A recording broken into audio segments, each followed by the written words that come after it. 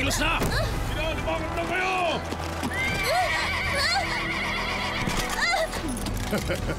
Sa akin na mapupunta ang Israelitang ito. Tamang-tamang isang ito para magdala ng alak sa akin.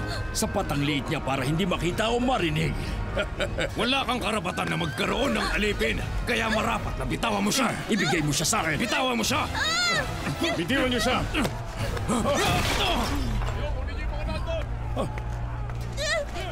Pinuno,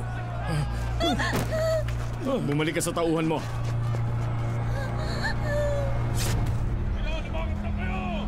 Sumama ka sa akin. Huwag kang matakot.